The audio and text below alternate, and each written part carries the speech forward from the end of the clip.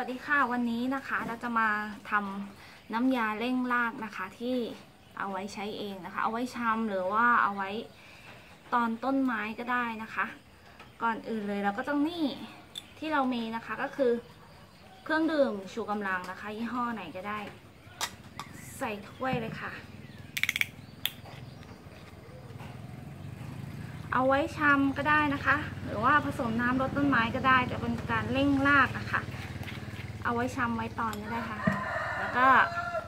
นี่เลยกะปินะคะ เป็นของที่หาง่ายในบ้านนะคะ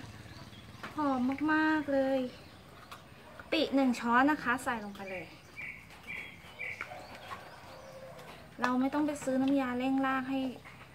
เปลืองนะคะ แล้วก็คนให้ละลาย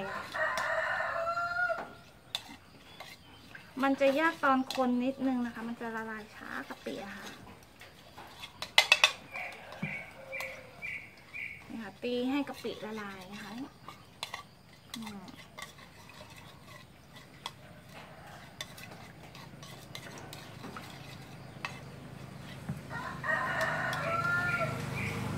พอกะปิละลายนะคะ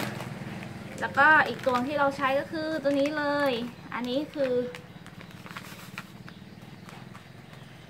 อะอิโยโมโตะอันนี้ก็คือผงชูรสนะคะ ใส่ลงไปเลย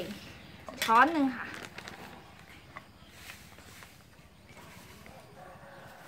หรือสามอย่างนี้นะคะ บวกกันค่ะ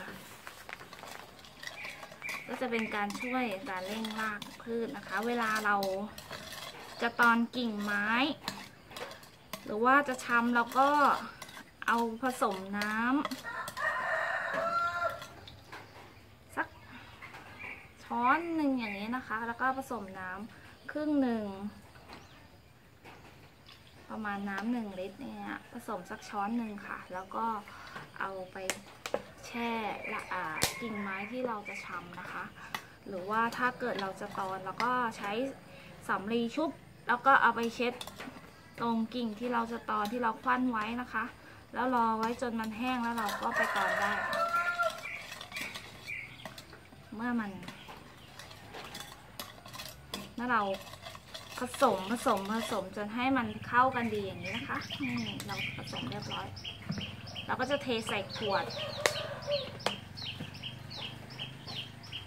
จะเทใส่ได้ไหม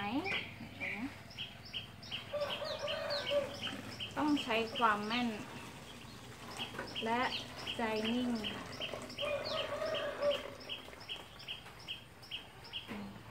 ก็จะเห็นว่ามีกะปิยังเหลืออยู่ข้างล่างนะคะ เราตักใส่เลย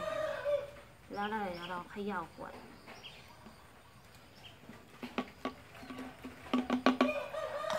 เสียดาย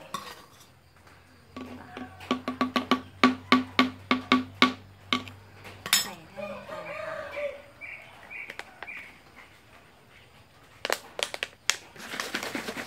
นี่ค่ะ ดีที่สุด อืมเห็นไหมคะกะปิ แตกละเอียดเรียบร้อย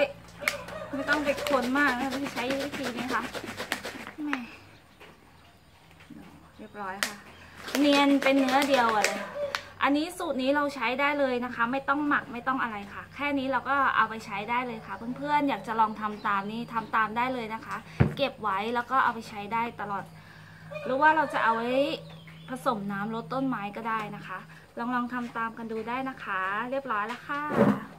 บ๊ายบาย